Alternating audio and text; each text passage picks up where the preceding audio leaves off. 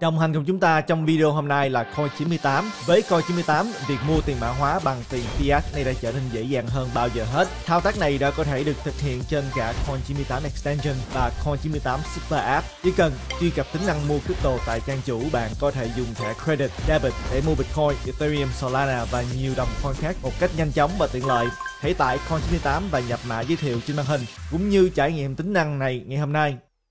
Chúng ta bây giờ chuyển qua để mà nói về Michael Berry đi. Thì đây là một cái thông tin à, cũng khiến nhiều người rất là xôn xao tại vì Michael Berry đó đã đột ngột à, bán hết cổ phiếu của mình nhưng mà chỉ giữ lại một cổ phiếu nhất đó chính là Geo Group. Thì à, Michael Berry đó là một trong những nhân vật mà nhiều bạn cũng đã biết qua cái bộ phim là The Big Short.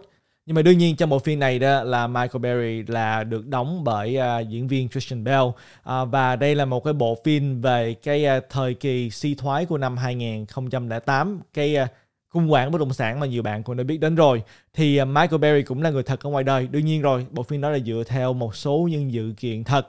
À, thì người này đã, đã bán hết tất cả cổ phiếu của mình trong quý 2 không phải là mới bán bây giờ mà đã bán là có thể là trước tháng 6 chỉ giữ lại một công ty điều hành nhà tù tư nhân là Geo Group thì à, tôi đã chia sẻ là thứ nhất các bạn đã biết là tháng 7 đó thì à, giá cổ phiếu đã phục hồi lại. À, thì đương nhiên Michael Berry đã bán cái này thì cũng hơi sớm nhưng mà nhìn kỹ lại đó thì à, có thể là Michael Berry đã lời à, khi mà đã mua quyền được bán Apple. Tại vì có thể là giá cả đã đi xuống trong thời gian làm Michael Berry mua cho nên đã có lời. Nhưng mà cũng đã bán luôn cái quyền được bán này rồi. Và đương nhiên bán hết những cổ phiếu như các bạn thấy được là Google, Meta, vân vân để chỉ giữ lại duy nhất đó là Gio mà thôi. Thì Gio đó là một cái à, nhà tù tư nhân. Và điều thứ hai đó thường chia sẻ là Michael nghĩ là stock sẽ xuống và nhiều người sẽ vô tù thì đương nhiên Michael Berry nghĩ nghĩ là stock sẽ xuống cho nên mới bán hết cổ phiếu của mình. Và suy nghĩ này đó là không phải chỉ riêng là có Michael Berry có tại vì chúng ta cũng đã biết là ngày hôm qua đó thì Morgan Stanley à, cũng nghĩ là giá cổ phiếu có thể tiếp tục đi xuống khi mà chúng ta thấy là suy thoái có thể là sâu hơn là mọi người nghĩ. Thì Michael Berry đương nghĩ gì rồi tại vì Michael Berry đó đã bao nhiêu năm qua kêu gọi là suy thoái tài chính rồi. Nhưng mà động thái này đã khiến nhiều người cũng à, khá là lo lắng tại vì các bạn đã nhớ là trong ờ, năm 2008 đó, cuộc khủng hoảng đó, thì Michael Berry cũng đã chính xác chẩn đoán được là sẽ có một cái đợt ờ, khủng hoảng liên quan đến bất động sản. Và lúc đó đó thì Michael Berry đã có một cái quỹ đầu tư gọi là Scion. Thì ờ, sau đó đó quỹ này cũng đã kiếm được hơn một tỷ đô la. Nhưng mà trước đó vài năm đó, năm 2005 đó thì tôi nhớ lúc đó là Michael Berry đã bắt đầu là short hay là mua những cái bảo hiểm liên quan tới bất động sản rồi. À, và đương nhiên năm 2015, 16, 17 thì giá bất động sản vẫn tăng lên những cổ phiếu liên quan cũng tiếp tục tăng lên. À, khiến cho cái quỹ đó cũng đã âm rất là sâu trước khi mà có lợi nhuận. Những bài nào mà xem phim thì cũng đã nhớ. Và Michael Berry đó thì đương nhiên là một trong những người mà nhiều người quan tâm đến về cái sự kiện của năm 2008 nhưng mà sau đó này thì cũng đã có rất nhiều lần Michael Berry cũng đã đưa ra những nhận định nhưng mà những nhận định này đó thì không có đúng. Giống như chúng ta đã thấy là từ năm 2017 đó thì Michael Berry đã bắt đầu có những cái thuyết à, những cái à, nhận định là thị trường đã đi vào một bong bóng và bong bóng sẽ vỡ cũng giống như năm 2008 nhưng mà các bạn đã thấy là từ 2017 tới năm 2022 thì giá đã tăng như thế nào? Giá tăng mãi đến cuối năm 2021 và chỉ xuống à, trong khoảng thời gian là từ đầu năm tới bây giờ mà thôi. Thì chúng ta thấy được là ngoại trừ những nhận định đó ra đó thì à, năm 2019 Michael Berry cũng nói là index fund có nghĩa là những cái quỹ đầu tư dựa theo những chỉ số như là S&P 500 đó à, sẽ giống như là bất động sản sẽ bùng nổ và giá cả sẽ đi xuống như mà các bạn thấy được là 2019, 2020, 2021 là những năm mà tăng trưởng rất là nhiều. Chúng ta thấy được là cũng tương tự Michael Berry đã không thích Tesla thì à, cũng đã đưa ra những cái nhận định năm 2020 là Tesla sẽ xuống 25 tới 50%. Năm 2021 cũng nói tương tự nhưng mà giá cả Tesla lại tăng trưởng lên à, chỉ xuống trong thời gian từ năm đầu năm tới bây giờ mà thôi. À, Bitcoin cũng vậy, Michael Berry cũng đã ra nhận định là hồi tháng 3 năm 2021 đó Bitcoin sẽ đi xuống. À, kết quả thì Bitcoin tiếp tục tăng trưởng và đạt cái đỉnh mới ở cái mức là 64.000 đô rồi sau đó giảm xuống còn 29.000 đô à, hồi hè năm ngoái, rồi sau đó từ 29.000 tăng lên 69.000 đạt đỉnh mới, rồi từ đầu năm tới bây giờ giảm xuống còn cái mức giá hiện bây giờ. Thì có phải là Michael Berry đã đoán đúng với Bitcoin hay là không? À, nhưng mà các bạn thấy được là sau đó giá cả đã đạt đỉnh mới hai lần trước khi mà xuống tới mức bây giờ. Thì có đúng hay không đó là nhận định của mỗi người mà thôi. Nếu như các bạn số gói Bitcoin.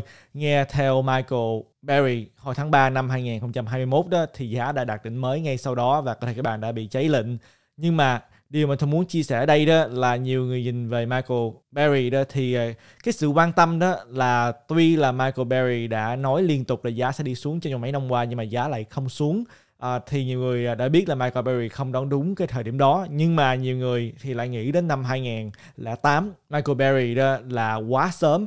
Năm 2005 đó là bắt đầu là ra những cái quyết định là mua những cái bảo hiểm hay là short những cái à, cổ phiếu. Rồi mãi tới năm 2008 thì à, mới thực sự là có khủng hoảng bất động sản dẫn đến là cái quỹ đầu tư đã thua lỗ rất nhiều trong vòng mấy năm. Và các bạn cũng đã nhớ đó là trong thời gian đó rất là nhiều những nhà đầu tư đó không hài lòng và các bạn đã biết là sau khi uh, những nhà đầu tư đó đòi tiền lại tại vì họ không muốn tiếp tục lỗ nữa thì uh, Michael Berry đã ra một quyết định uh, là theo luật của quỹ đầu tư đó thì có thể là tạm ngưng không cho rút tiền tuy là sau đó quỹ cũng đã kiếm được tiền nhưng mà những nhà đầu tư đây thì đã không hài lòng. Và theo thông biết đó hiện bây giờ là Michael Berry chủ yếu là quản lý quỹ cá nhân của mình mà thôi. Tại vì à, không có ai à, đưa tiền cho Michael Berry quản lý nữa. Nếu như mà Michael Berry có thể là ngưng không cho họ rút như vậy cái lòng tin à, đã bị lung lay từ năm 2008 à, nhưng mà cái mà Thùng muốn chia sẻ với các bạn ở đây đó là không ai có thể biết được tương lai Michael Berry có đúng hay là không. Thì đã đúng năm 2008 nhưng mà cũng có thể là sai. Thì lúc đó quỹ đầu tư Sion sẽ như thế nào?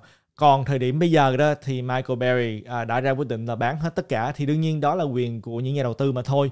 Ai cũng có thể mua ai cũng có thể bán. Đây là thị trường tự do mà và ai cũng có thể đưa ra nhận định cá nhân của mình. Nhưng mà các bạn đã thấy được là cách đầu tư của Michael Berry thì không giống như là cái đầu tư à, của Thuận. Thì Thuận thích đầu tư dài hạn trung bình giá hơn giá lên giá xuống đó thì trong ngắn hạn thì cũng không quan tâm nhiều. Chủ yếu là đầu tư dài hạn tích lũy tài sản nhiều để khi mà giá lên thì chúng ta có thể chốt lời được cái mức mà mình hài lòng mà thôi chứ còn cái đầu tư mà all in all out đó thì cũng có sự nguy hiểm riêng của nó. Rất nhiều người quan tâm đến việc là Michael Berry uh, bán hết cổ phiếu của mình cho nên thông muốn dành thời gian để mà chia sẻ thêm một chút xíu góc cạnh để các bạn hiểu mà thôi. Và Michael Berry đó thì đương nhiên là một người mà cũng đã từng nói đúng. À, vì một số điều giống như là Michael Berry cũng đã nói đúng là chỉ số Nasdaq đã tăng trưởng trở lại 20% nhưng mà không có nghĩa là chúng ta đang ở trong bull market. Và Michael Berry đã nói là đã có 7 lần từ năm 2000 đó khi mà Nasdaq tăng trưởng hơn 20% nhưng mà kết quả đó thì những đợt 20% này đó khi các bạn nhìn kỹ hơn đó thì sau đó tổng cộng Nasdaq đã xuống 78% cho đến năm 2002 cho nên tăng trưởng hơn 20% không có nghĩa là bull market. Thì đương nhiên rồi chúng ta sẽ mãi không biết được uh, cho đến khi nào mà chỉ số Nasdaq trở đỉnh cũ và phá đỉnh mới mà thôi chúng ta mới chắc chắn được là đã trong bull market. Nhưng mà lúc đó có thể đã quá trễ. Thì thuận thì uh, không có phải là người mà giỏi về à, đón đỉnh hay là đón đáy, thường chỉ đầu tư dài hạn mà thôi nhưng mà đây là tài liệu liên quan tới Michael Berry mà Thuận muốn chia sẻ với các bạn. Chúng ta có được thông tin lớn ngày hôm nay đó là thông tin liên quan tới Celsius tại vì Celsius đã ra tòa lần 2 và đợt này đó thì có nhiều thông tin hơn. Thuận biết là nhiều bạn cũng rất quan tâm đến Celsius thì chuyện đã xảy ra. Thì các bạn đã nhớ đó là thông tin chúng ta chia sẻ ngày hôm qua là Celsius à, cuối cùng đã ra cái thống kê là họ có lỗ hỏng đó lên tới là 2,84 tỷ đô la có nghĩa là gần như là 3 tỷ đô la lỗ hỏng lỗ hỏng đó nhiều hơn gấp đôi so với những gì mà họ chia sẻ trước đây. Có nghĩa là cái số lượng mà họ nợ ra những cái khách hàng so với lại cái số tài sản còn lại thì à, họ đã bị thâm hụt 2,8 tỷ rồi. Con số rất lớn như là thuận chia sẻ hôm nay đó. Thì lại có thêm một thông tin các bạn đã nhớ là khi mà họ khai à, bảo vệ phá sản đó thì họ đã còn một số tiền mặt. À, và tổng cộng đó là các bạn thấy trên màn hình là tháng 8 năm 2022 thì họ ước tính chỉ còn lại có khoảng chừng là 66 triệu mà thôi. Trước đó thường nhớ là họ nói họ đã chuẩn bị sẵn là 100 thường nhớ 115 hay 150 triệu gì đó. Thì số tiền mặt này đó dùng để mà trả tiền pháp lý trả tiền cho nhân viên tại vì họ vẫn phải tiếp tục trả những cái à, chi phí đó. À, và bây giờ tháng 8 họ tính chỉ còn có 66 triệu mà thôi.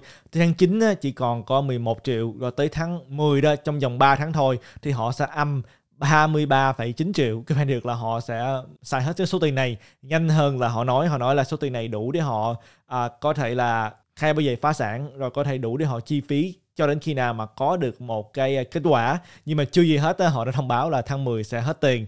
Và đương nhiên một trong à, những điều mà nhiều người đang không thích ở đây đó là sales vẫn trả lương cho rất nhiều nhân viên. Và đặc biệt là những nhân viên cấp cao đó thì họ vẫn à, nhận được rất nhiều những lương. Thậm chí là Alex Masinski lương cũng rất là cao. Cho nên đây là những cái chi tiêu mà tại sao họ vẫn tiếp tục chi tiêu như vậy. Khi mà họ đã đến cái mức mà không còn tiền mặt nữa thì sao? Thì có phải họ sẽ bán một số tài sản để mà tiếp tục duy trì hay không. Nhưng mà số tài sản đó đó là phải để riêng ra để mà trả lại cho những nạn nhân mà đó là điều mà không tốt ở đây.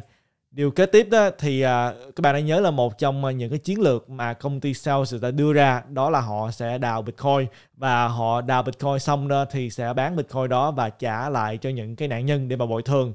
À, và thường chia sẻ là cái con số họ đưa ra đó là không có đúng như là thuận nghĩ. Tại vì những công ty đào bitcoin chuyên về đào bitcoin đó như là HA hay là Marathon thì họ cũng không đào nhiều bitcoin như là ước tính của Celsius.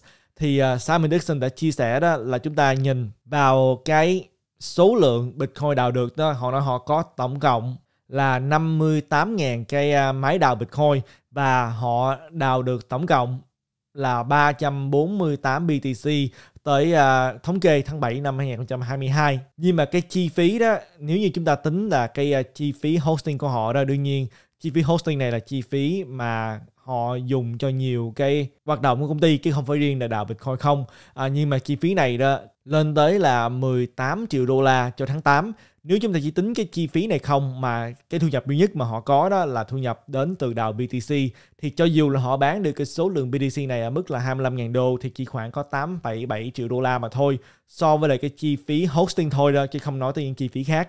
À, thì à, đã bị lỗ rồi cho nên điều này là không khả thi lắm. Và đương nhiên cái số mà họ đào ra là không phải tất cả là đều là lời hết, tại vì họ cũng cần phải à, có cái tiền vốn trong đó, cái tiền để trả mặt bằng, tiền để trả internet, nhân viên, vân vân. Nói chung thì à, khả năng mà sau sẽ đào bitcoin thành công để mà bồi thường cho những cái nạn nhân đó thì à, cũng không có cao lắm đâu. Và thêm vào đó đó lại có một số những cái sự cáo buộc liên quan tới Alex Masinski thì à, thông tin được chia sẻ đó bởi à, Financial Times nói là vài tháng trước khi mà cái sự sụp đổ của Celsius á, thì Alan Helsinki là người đã chủ trì cái việc mà đầu tư hàng ngày của Celsius và đã đưa ra rất là nhiều những quyết định sai lầm.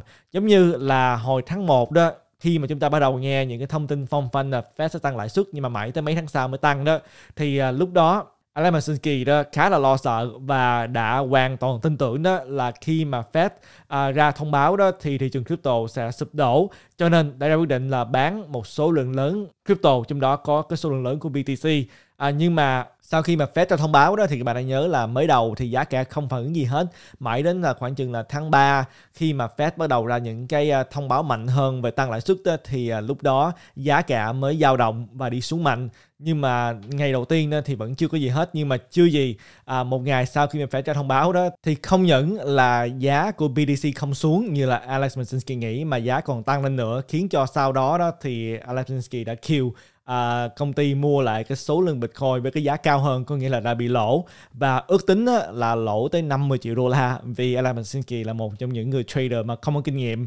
À, chưa gì hết á, là đã đưa ra quyết định bán rồi đã mua lại cái mức giá cao hơn. Rồi sau đó thì sao? Sau đó thì thực sự giá đã xuống nhưng mà sao sự ta mua lại rồi?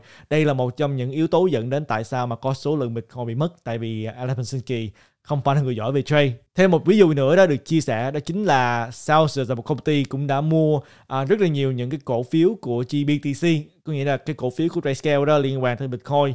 Thì uh, Celsius uh, tới tháng 9 năm 2021 đó đã giữ tổng cộng là 11 triệu cổ phiếu của GBTC, đáng giá khoảng chừng là 400 triệu, không con số hoàn toàn không nhỏ. Là lúc đó đó là cổ phiếu của GBTC so với lại Bitcoin thực sự đó thì cũng đã có cái sự giảm xuống khoảng 15 cent cho một cổ phiếu. À, nhưng mà lúc đó đó thì à, Celsius cũng đã được một cái sự lựa chọn là có thể là cắt lỗ bây giờ à, để mà hoàn cái số tiền còn lại để không lỗ nhiều. Nhưng mà Alan Masinski đó không chấp nhận. À, nói là không sao đâu. Cái à, sự khác biệt giữa cái giá của GBTC và Bitcoin đó thì rất là nhỏ bây giờ. Nhưng mà cuối cùng đó thì không những là thu hẹp lại mà còn rộng ra nữa có nghĩa là tới khoảng chừng tháng 4 đó thì lúc đó cái sự khác biệt giữa cổ phiếu GBTC và BTC đó đã dẫn đến là cái cổ phiếu này đã phải trade ở cái mức là giảm thêm 25 cent nữa.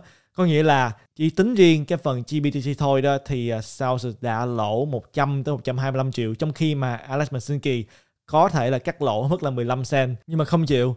Đợi tới uh, cái mức lỗ tới 25 cent các bạn thấy là trên màn hình đây là cái biểu đồ của BTC đây là cái lúc mà Alan Masinski nghĩ là giá của BTC sẽ đi xuống cái thời điểm mà Fed họp ờ, tháng 1 đầu năm đó nhưng mà sau đó giá không xuống mà giá còn tăng lên nữa dẫn đến là Alex Mashinsky phải dùng tiền để mà mua lại với cái mức giá của BTC cao hơn. Đây là những cái sai lầm dẫn đến lỗ rất là nhiều của Alex Mashinsky và đây là cái ví dụ mà thôi. Nói chung đó thì ờ, Alex Mashinsky là một người mà không nên đụng đến trading. À, chỉ dựa vào những ví dụ này cũng đã thấy được là đây là một trong những cái sai lầm dẫn đến cái lỗ hỏng tài chính của công ty Celsius lớn như vậy. Và thêm vào đó đó thì uh, chúng ta thấy được là trước đây trên cái trang web của Celsius đã có một cái uh, chia sẻ đó chính là công ty này đã có 750 triệu bảo hiểm à, nhưng mà cuối cùng đó, bảo hiểm này khi mà ra tòa đó thì mới biết là bảo hiểm này chỉ là cái chữ trên màn hình mà thôi chứ còn không có bảo hiểm thật sự nhưng mà có phải là tất cả thông tin đều xấu hay là không? Thì cũng không hẳn đâu chúng ta cũng có một số những thông tin tương đối uh, là rút ngắn thời gian theo tôi nghĩ là như vậy. Để các bạn có thể nhận lại tiền từ Celsius thì Aaron Bennett cũng đã theo dõi và chia sẻ một số những cái thuyết thường cũng đã đánh dấu một số thuyết thường cảm thấy là thú vị. À, thứ nhất đó chính là điều quan trọng nhất bây giờ là làm sao để có thể thu hẹp cái uh, khoảng cách nợ của Celsius với lại cái số uh, lượng tài sản mà họ đang có. Thì Celsius nói là họ cũng có một số công ty hứng thú mua nhưng mà họ không nói rõ là công ty nào. À, và khi mà có thêm tiền vào đó thì đương nhiên sẽ có thể thu hẹp lại cái lỗ hỏng tài chính của họ. Và họ cũng nói là họ muốn trả lại crypto cho những nhà đầu tư chứ không phải là trả lại uh, tiền mặt. Có nghĩa là họ không quy ra tiền mặt để mà trả. Nếu như mà họ trả lại Bitcoin á, giống như là Bitcoin sau này lên giá đi. Tuy là họ chỉ có thể trả lại một số lượng Bitcoin thấp hơn là cái số lượng người gửi vào nhưng mà có thể là cái giá của tiền mặt nó đã cao hơn rồi tại vì có thể giá của BTC đã tăng lên họ sẽ bồi thường bằng crypto chứ không phải là tiền mặt. Và hiện bây giờ đó thì uh, họ nói là những người nào mà đang chờ đợi để mà lấy tiền đó, thì vẫn chưa có một ngày chính thức nào đâu và cũng chưa có một cái ngày hết hạn nào khi nào mà có thêm họ sẽ thông báo, chứ bây giờ đó là không có bất cứ một cái ngày hạn chót để các bạn à, gửi đơn tới để được à, hoàn tiền. Chúng ta bây giờ chỉ có thể tiếp tục à, ngồi chờ xem kế tiếp sẽ ra sao mà thôi. Và nói tới công ty mà muốn thu mua lại công ty Celsius thì chúng ta có một thông tin rất là thú vị. Các bạn có biết công ty nào nói là đang có hứng thú với lại Celsius hay là không? À, đương nhiên không phải là FTX rồi. FTX là một cái sàn giao dịch mà trước đây à, nói là con thú muốn mua lại Celsius nhưng mà sau khi à, tôi nghĩ là thấy lỗ hỏng tài chính quá lớn cho nên cuối cùng họ đã không có mua. Nhưng mà Ripple Labs công ty Ripple à, lại nói là họ đang có hứng thú với lại tài sản của công ty Celsius nhưng mà không chia sẻ thêm bất cứ một thông tin nào hiện tại. Không biết là họ hứng thú mua lại công ty Celsius hay là mua lại tài sản của Celsius. Thường chưa rõ cái phần này và mua lại Celsius đi thì, thì để làm gì? Đó là điều mà chúng ta chưa rõ ở đây. Khi mà có thông tin tôi sẽ chia sẻ với các bạn. Và thông tin cuối cùng đó là thông tin liên quan tới Ethereum. Thì các bạn đã biết là Ethereum hiện bây giờ ước tính hiện tượng là Merge sẽ xảy ra vào ngày 15 tháng 9 thì tuy là chúng ta đã biết là những người mà phát triển mạng lưới đó nghĩ là cái ngày đó sẽ không có ảnh hưởng nhiều đến hoạt động của Ethereum tại vì à, sẽ không có ngưng mạng lưới mà sẽ cứ hoạt động và tích hợp mà thôi. Nhưng mà những sàn giao dịch á, à, có thể là sẽ có những quyết định là ngưng không cho bạn gửi rút và ngay sau đó các bạn đi sàn Coinbase cũng đã ra thông báo là tới cái ngày đó đó thì à, các bạn sẽ không thể nào gửi tiền hay là rút tiền Ethereum hay là những cái token ERC à, để mà đảm bảo không có sự cố gì xảy ra. Tôi nghĩ là đến gần ngày đó đó những sàn khác như là Binance cũng sẽ ra những thông báo tương tự cho nên các bạn à, cần nên để ý các bạn đang sử dụng sàn nào và họ có quyết định là cái ngày mà mới xảy ra đó thì có khi nào ngưng không cho gửi tiền rút tiền hay không còn về việc là khi đến gần ngày đó nó như mà nào mà lưu trữ trong ví lạnh hay là ví cá nhân thì sẽ làm sao thì thường vẫn chưa nhận được thông tin đó. Khi mà có thường chia sẻ với các bạn. Hay là những bạn nào mà biết thêm thông tin á hãy comment bên dưới cái video này. Và đây là tất cả những thông tin mà thường muốn chia sẻ với các bạn trong cái video ngày hôm nay cũng là một ngày đầy tin tức. À, tôi hy vọng là hôm nay là một trong những ngày mà tin tức nó thú vị hơn. Và những bạn nào mà có hứng thú muốn tìm hiểu những cái ưu đãi dành riêng cho cộng đồng thuần capital thì có thể bấm vào cái link ở bên dưới cái video này để tìm hiểu những ưu đãi như là các bạn có thể nhận được bonus hay là giảm phí giao dịch lên tới 20% khi mà tham gia vào những sàn như là sàn Binance và những ưu đãi khác như là các bạn nhìn thấy trên màn hình. Và một lần nữa, Thuận cảm ơn các bạn đã dành thời gian để mà xem video ngày hôm nay và Thuận sẽ hẹn gặp lại các bạn trong video kế tiếp. Tạm biệt các bạn.